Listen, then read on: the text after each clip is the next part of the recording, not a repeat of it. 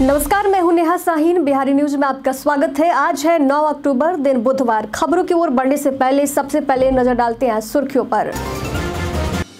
आज है शारदीय नवरात्र का सातवां दिन। माँ कालरात्रि की होगी पूजा अर्चना। माँ की आराधना से भय का होता है विनाश। तेज गाड़ियों की रफ्तार पर लगेगा ब्रेक। दिसंबर से तेज गाड़ी आप नहीं दौड़ा पाएँगे। परिवहन विभाग गति सीमा करेगा तय। बिहार शिक्षा परियोजना परिषद की नई पहल, पचहत्तर हज़ार दो सौ छियासी सरकारी स्कूलों को मिलेगा नई किताबें, कहानी, विज्ञान, गणित की नई पुस्तकें होंगी उपलब्ध। बिहार के फर्जी शिक्षकों की खैर नहीं, फर्जी शिक्षकों पर दशहरा बाद होगी कार्रवाई, शिक्षा मंत्री सुनील कुमार ने दी जानकारी। मनोज बाजपेयी की फ़िल्म को मिला राष्ट्रीय पुरस्कार, फ़िल्म गुलमोहर को मिला राष्ट्रीय पुरस्कार, अवार्ड पाने पर मनोज बाजपेयी ने जताई खुशी।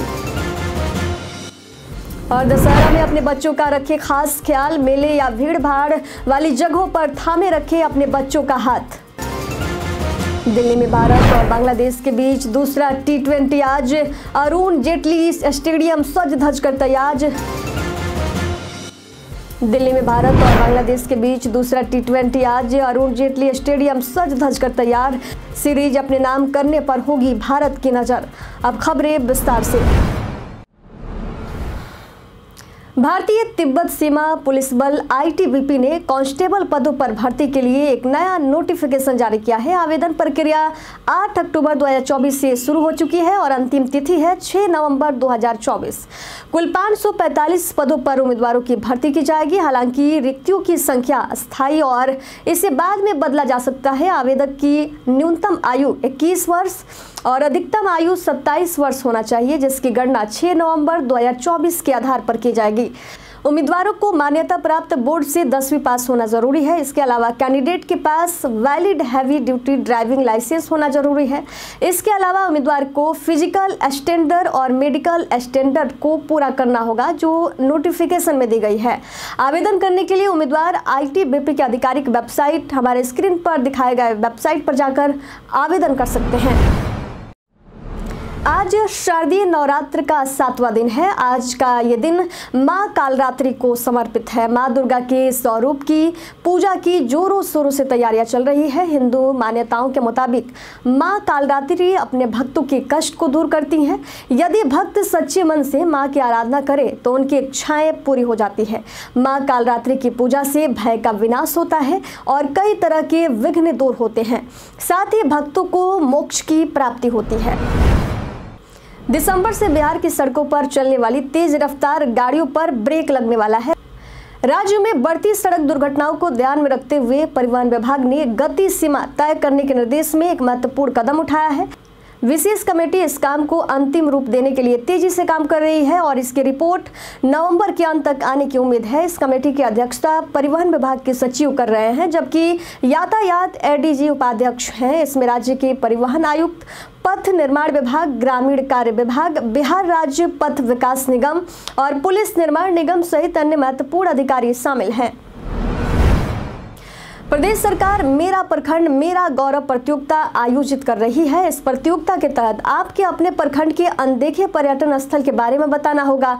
अच्छा करने वाले प्रथम प्रतियोगी को पचास हज़ार, दूसरे नंबर पर पैंतालीस हज़ार और तीसरे नंबर के प्रतियोगी को पैंतीस हज़ार रुपए दिए जाएँगे। प्रतियोगिता में भाग लेने के लिए आपको टूरिज़्म विभाग की वेबसाइट हमारे स्क्रीन पर दिखाए गए वेबसाइट पर जाना होगा। भाग लेने वाले उम्मीदवारों को अपने प्रखंड के अनदेखे पर्यटन स्थल की तीन फ़ोटो, जिसकी साइज़ 10 एमबी प्रति फ़ोटो होनी चाहिए।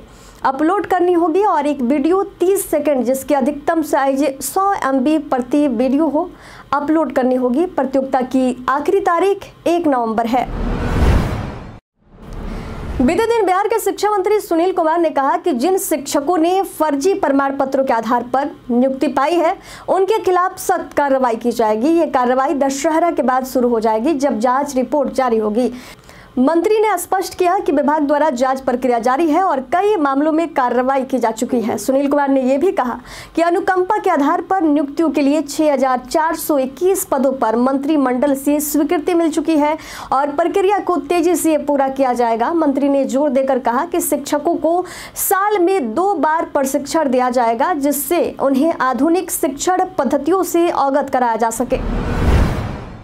राजधानी पटना के ज्ञान भवन में आगामी 22 और 30 अक्टूबर को ट्रैवल और टूरिज़्म फेयर का आयोजन किया जाएगा। पर्यटन सचिव लोकेश कुमार सिंह ने हाल ही में हुई एक समीक्षा बैठक में विभागीय अधिकारियों को टीटीएफ के सफल आयोजन के लिए निर्देशित किया है। उन्होंने कहा कि हम चाहते हैं कि सभी विभाग के पदाधिकारी और कर्मी इस आयोजन में सहभागिता दें ताकि इसे सफल बनाया जा सके। बता दें कि इस मेले में देश विदेश के कई प्रतिनिधि शामिल होंगे, जिसमें बिहार के पर्यटन स्थलों का प्रचार प्रसार किया जाएगा। समीक्षा बैठक में पदाधिकारियों को यह भी निर्देश दिया गया है कि वे नवंबर माह तक बजट का 45 फ़ीसदी खर्च करें। बिहार के बक्सर ज़िले के बरहमपुर प्रखंड में कांट गाँव में जेके सीमेंट कंपनी का नया प्लांट स्थापित होने जा रहा है। पैंसठ एकड़ ज़मीन पर बनने वाले इस प्लांट का एनओसी बिहार सरकार द्वारा जारी कर दिया गया है और ये 2025 के अंत तक उत्पादन शुरू करेगा। इस परियोजना से लगभग 250 लोगों को रोज़गार मिलेगा और इसका सालाना उत्पादन क्षमता करीब 30 लाख टन होगी। अनुमानित लागत पाँच सौ अट्ठासी करोड़ रुपए होगी, जिसमें क्षेत्र के विकास के लिए भी कंपनी निवेश करेगी। राज्य भर के पचहत्तर हज़ार दो सौ छियासी सरकारी स्कूलों में अब बच्चों और शिक्षकों के लिए नई किताबें उपलब्ध होंगी। ये किताबें कक्षा एक से बारह तक के छात्रों के लिए होंगी, जिसमें कहानी की पुस्तकें, विज्ञान और गणित की पुस्तकें शामिल होंगी। इसके अलावा तकनीकी शिक्षण संस्थानों में प्रवेश के लिए प्रतियोगी परीक्षा की तैयारी कर रहे छात्रों के लिए भी बेहतरीन किताबें मिलेंगी। इससे बच्चे अपने विद्यालय में रहकर ही तैयारी कर सकेंगे। इस पहल का सबसे बड़ा फ़ायदा उन बच्चों को होगा, जो महँगी किताबें नहीं खरीद खरीद पाते हैं। पुस्तकालय में उपलब्ध किताबें न सिर्फ़ ज्ञानवर्धक करेगी, बल्कि बच्चों को अपनी पढ़ाई में भी मदद करेगी। बिहार शिक्षा परियोजना परिषद ने इसके लिए पूरी तैयारी कर ली है। बिहार सरकार ने सड़क सुरक्षा और ट्रैफ़िक जाम की समस्या से निपटने के लिए एक महत्वपूर्ण कदम उठाया है। राज्य के पाँच प्रमुख शहरों, पटना, मुजफ्फरपुर, भागलपुर, बिहार शरीफ और गया में ट्रैफ़िक व्यवस्था को पूरी तरह से नया रूप दिया जाएगा। हाल ही में किए गए ट्रैफ़िक सर्वे की रिपोर्ट के आधार पर इन शहरों में कार्य योजना बनाई जा रही है। विकास आयुक्त चैतन्य प्रसाद की अध्यक्षता में बनाई गई विशेष कमेटी हर दो महीने में सड़क सुरक्षा के उपायों की समीक्षा करेगी। सर्वे में जाम के स्पॉट और सड़क दुर्घटनाओं के ब्लैक स्पॉट चिन्हित किए गए हैं। पुलिस, परिवहन और पथ निर्माण अधिकारियों के साथ मिलकर इन समस्याओं का समाधान निकाला जाएगा। बिहार के मनोज बाजपेयी की फ़िल्म गुलमोहर को नेशनल अवार्ड से नवाजा गया है। मनोज बाजपेयी ने इस अवार्ड को पाने पर खुशी जताते हुए खुद को भाग्यशाली बताया। उन्होंने कहा कि अच्छा महसूस कर रहा हूँ, क्योंकि नेशनल अवार्ड जैसी जगह पर आकर एक छोटी सी फ़िल्म जिस तरह से अपनी उपस्थिति दर्ज करवाती है, ये अपने आप में बहुत बड़ी बात है हमारे लिए। कहा कि जब मैं अपने जीवन में रंगमंच कर रहा था तो कहता था कि एक बार ये मिल जाए तो जीवन धन्य हो जाएगा। आज ऊपर वाले की कृपा से चौथी बार मुझे गुलमोहर के लिए नेशनल अवार्ड से नवाजा गया है। व्हाट्सएप ने कॉलिंग के लिए बेहद शानदार फीचर लाया है। इस नए फीचर की मदद से यूज़र चैट इंटरफेस में ही कॉल लिंक क्रिएट कर सकते हैं। चैट अटैचमेंट सीट में एक नया शॉर्टकट उपलब्ध है, जिसे अटैचमेंट आइकन पर टैप करके एक्सेस किया जा सकता है। इससे कॉलिंग लिंक बनाने की प्रक्रिया जो है तेज हो जाएगी। ये फीचर अभी बीटा यूज़र्स के लिए उपलब्ध है और इसके स्टेबल वर्जन को जल्द ही सभी यूज़र्स के लिए रोल आउट किया जाएगा। व्हाट्सएप ने आईओएस यूज़र्स के लिए चैट्स थीम्स फीचर भी लॉन्च किया है, जिसमें 22 अलग अलग थीम और 20 कलर ऑप्शन दिए गए हैं। यूज़र्स अपनी पसंद की थीम या कलर का चयन कर सकते हैं। बिहार के पश्चिम चंपारण ज़िले में नेपाल बॉर्डर पर स्थित वाल्मीकि टाइगर रिज़र्व में जंगल सफारी को फिर से शुरू करने की तैयारी है। प्रशासन के अनुसार, सफारी अक्टूबर के पहले सप्ताह में शुरू होने वाली थी, लेकिन बारिश के कारण निर्माण काम में देरी हुई। बीते दिन वन क्षेत्रीय अधिकारी राजकुमार पासवान ने बताया कि सभी तैयारियाँ अंतिम चरण में है और यदि सब कुछ ठीक रहा तो पंद्रह से पच्चीस अक्टूबर के बीच जंगल सफारी जो है शुरू कर दी जाएगी। इस दौरान पर्यटक न केवल बाघ और तेंदुए जैसी जीवों को देख पाएँगे, बल्कि बोटिंग और साइकिल सफारी का भी आनंद ले पाएँगे। रबी मौसम के बीच प्रदेश सरकार किसानों को कई रबी फ़सलों के बीच अनुदानित दर दे रही है। आप इसका लाभ उठा सकते हैं। इसके लिए आपको डीवीडी के पोर्टल हमारे स्क्रीन पर दिखाए गए इस पोर्टल पर जाना होगा। ये आवेदन आप अपने एंड्रॉयड फ़ोन कंप्यूटर या कॉमन सर्विस सेंटर वसुधा केंद्र या साइबर कैफ़े के ज़रिए भी कर सकते हैं। आवेदन की अंतिम तारीख है पंद्रह नवंबर। तो अंतिम तारीख से पहले आवेदन करना सुनिश्चित करें। इससे संबंधित सटीक और अधिक जानकारी के लिए आप नजदीकी कृषि समन्वय प्रखंड कृषि पदाधिकारी या जिला कृषि पदाधिकारी से भी संपर्क कर सकते हैं। फ़सलों के बीज का मूल्य दर और अनुमान्य अनुदान राशि का विवरण आप हमारे स्क्रीन पर देख सकते हैं। राज्य के एक सौ इकसठ शहरी निकायों में कचरे के निस्तांतरण के लिए 24 क्लस्टर बनाए जाएँगे, जिससे कचरा संग्रहण और प्रसंस्करण किया जाएगा। नगर विकास मंत्री नितिन नवीन ने बताया कि एकीकृत ठोस कचरा प्रबंधन योजना के तहत सूखे और गीले कचरे का वैज्ञानिक प्रबंधन किया जाएगा। अगले तीन से छह महीने में काम शुरू होगा। पटना में बायोमिथिनेशन और वेस्ट टू एनर्जी प्लांट स्थापित किए जाएँगे। आगे उन्होंने बताया कि मेट्रो परिचालन दो हज़ार छब्बीस में शुरू करने की योजना है, जबकि स्मार्ट सिटी परियोजनाओं का चौहत्तर प्रतिशत काम पूरा हो चुका है। नगर विकास विभाग ने शहरी विकास योजना की राशि जिलों को भेज दी है और वृद्धा आश्रम खोलने की भी योजना है। भारत में नवरात्रि का त्यौहार शुरू है, जिसमें 13 अक्टूबर को दशहरा होगा। दशहरा पर्व भगवान राम की रावण पर विजय का प्रतीक है और इस दिन मेले सजते हैं। मेले में बच्चों को ले जाने के लिए कुछ सावधानियों का ध्यान रखना आवश्यक है। पहली बात, बच्चों का हाथ हमेशा थामे रखें ताकि वे खो न जाए। मेले में भीड़ होती है, इसलिए बच्चों को नज़र से दूर नहीं होने दें। दूसरी बात ये कि बच्चों की जेब में एक पर्ची रखें, जिसमें उनका नाम, घर का पता और मोबाइल नंबर लिखा हो। इससे अगर बच्चा हो जाता है तो कोई मदद कर सकता है। इस तरह की सावधानियों से आप बच्चों का मज़ा और सुरक्षा दोनों सुनिश्चित कर सकते हैं। राज्य के अंचल कार्यालयों में दाखिल खारिज के लगभग छह लाख मामले लंबित हैं। इन लंबित मामलों का असर ज़मीन के दस्तावेजों के अध्ययन पर पड़ रहा है। साथ ही डिजिटाइज्ड जमाबंदी में सुधार और छुटी हुई जमाबंदी को ऑनलाइन करने की प्रक्रिया भी काफ़ी धीमी चल रही है।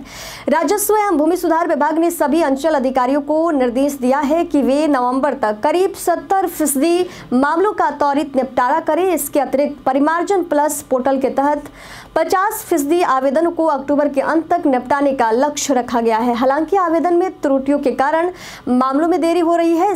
इसके साथ ही पारदर्शिता बढ़ाने के लिए विभाग ने एक नया पोर्टल विकसित किया है, जहाँ अंचल अधिकारियों को अपने कामों की प्रगति की रिपोर्ट अपलोड करने का निर्देश दिया गया है।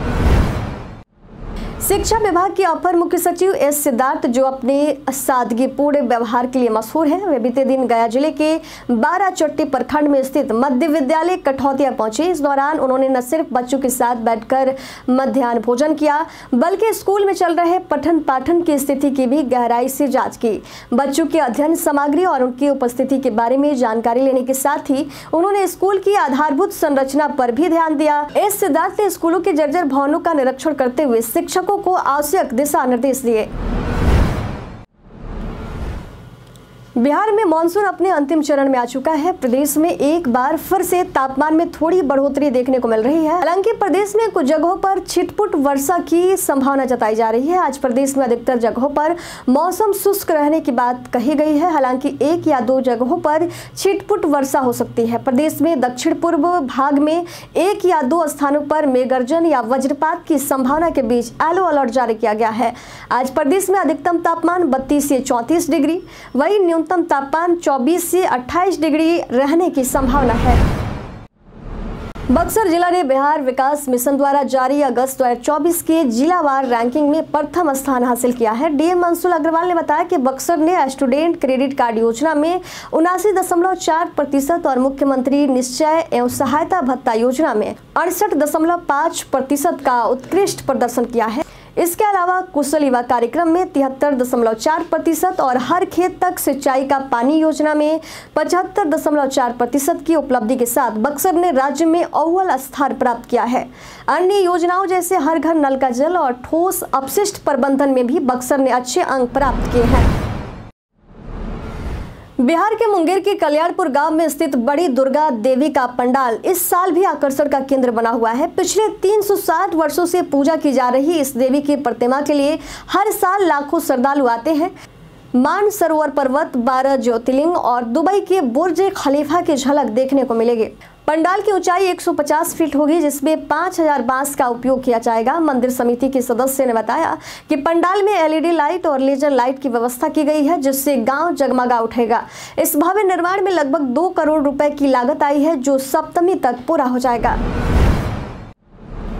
अब बात कर लेते हैं भारतीय राष्ट्रीय क्रिकेट टीम और बांग्लादेश राष्ट्रीय क्रिकेट टीम के बीच होने वाले टी सीरीज़ के दूसरे मैच की, जो आज दिल्ली के अरुण जेटली स्टेडियम में खेला जाएगा। बता दें कि पहले टी में भारत ने बांग्लादेश को सात विकेट से हराया, जहाँ बांग्लादेश ने पहले बल्लेबाजी करते हुए सिर्फ़ एक सौ सत्ताईस रन बनाए। भारत भारतीय टीम ने इसे 11.5 ओवर में ही हासिल कर लिया, जिससे उन्हें एक शून्य की बढ़त मिली है।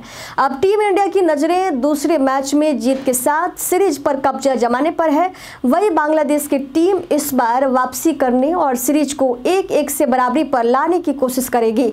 ये मैच दोनों टीमों के लिए बेहद महत्वपूर्ण है। इस मैच में कौन टीम जीत हासिल करेगा, आप हमें कमेंट करके ज़रूर बताइएगा। बीते दिन हरियाणा और जम्मू कश्मीर में हुए विधानसभा चुनाव में वोटों की गिनती में हरियाणा की 90 सीटों में से 48 सीटों पर बीजेपी ने जीत हासिल की, वही कांग्रेस ने 37 सीटों पर जीत हासिल कर ली है। वही जम्मू और कश्मीर विधानसभा चुनाव की 90 सीटों की अगर बात करें तो नेशनल कॉन्फ्रेंस ने बयालीस सीटें जीती है। बीजेपी ने उनतीस और कांग्रेस पार्टी महज छह सीटें ही जीत पाई। महबूबा मुफ्ती की पार्टी ने तीन सीटें जीती है। आम आदमी पार्टी ने भी एक सीट जीती है। सात सीटें निर्दलियों के खाते में गई। यूजीसी ने एक महत्वपूर्ण निर्णय लिया है। इसके तहत हर साल देश भर के विश्वविद्यालयों में से शीर्ष 10 पीएचडी थीसिस को सम्मानित किया जाएगा। UGC chairman M Jagdish Kumar के अनुसार ये पहल विभिन्न विषयों में उत्कृष्ट डॉक्टरल शोध कार्यों की पहचान करने का प्रयास है। सभी केंद्रीय, राज्य, निजी और डिम्ड विश्वविद्यालय के शोधार्थी इसके लिए पात्र होंगे।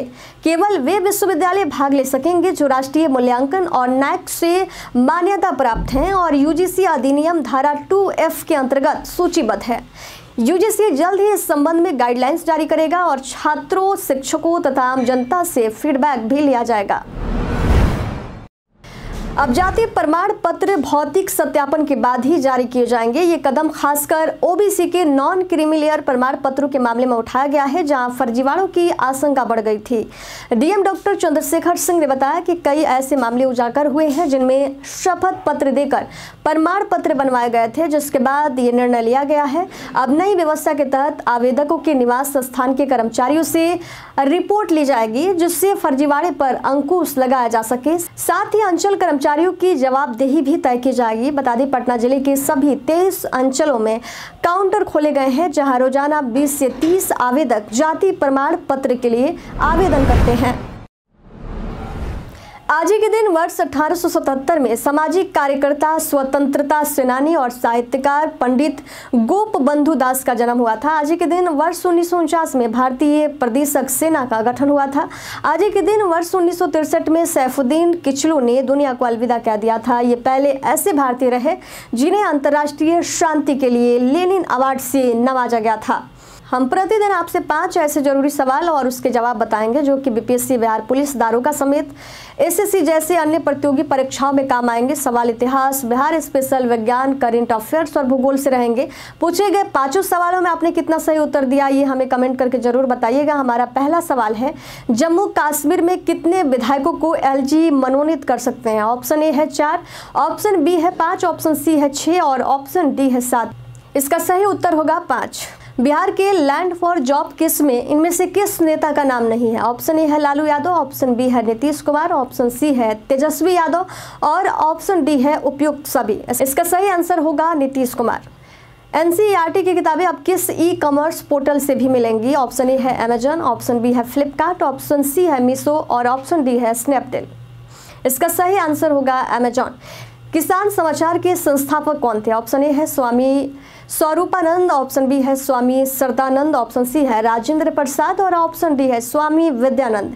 इसका सही आंसर होगा स्वामी विद्यानंद। स्वराज पार्टी का गठन कब हुआ था? ऑप्शन ए है एक जनवरी 1923 ऑप्शन बी है एक जनवरी 1922 ऑप्शन सी है एक जनवरी 1921 और ऑप्शन डी है एक जनवरी 1924 इसका सही आंसर होगा एक जनवरी 1923 बीते दिन हमारे द्वारा पूछे गए सवाल का जवाब आप लोगों में से बहुत लोगों ने हमारे कमेंट बॉक्स सेक्शन में लिख कर दिया है जिन्होंने हमारे द्वारा पूछे गए सवाल का जवाब दिया है। उनके नाम है अब्दुल मनान नूनू गोलू कुमार मोतीलाल कुमार राजकिशोर महतो पंकज कुमार राजीव कुमार उपेंद्र हंसदा रामनौबी माझी रवि कुमार राम सुजीत सिंह मोहम्मद साकिर हुसैन रंजीत मिश्रा राहुल मौर्या कुश कुमार यादव। और इसी के साथ बढ़ते हैं आज के सवाल की ओर। और, और आज का सवाल ये है कि दुर्गा पूजा में आप कहाँ घूमने का प्लान बना रहे हैं? आप अपना जवाब हमें हमारे कमेंट सेक्शन में लिखकर ज़रूर बताइएगा। आज के लिए इतना ही। बिहार के तमाम खबरों के साथ बने रहने के लिए देखते रहिए बिहारी न्यूज़ और साथ ही अगर आप यूट्यूब चैनल पर देख रहे हैं तो चैनल को सब्सक्राइब कर लीजिए और अगर आप फेसबुक पेज पर देख रहे हैं तो लाइक और फॉलो ज़रूर कीजिएगा। धन्यवाद।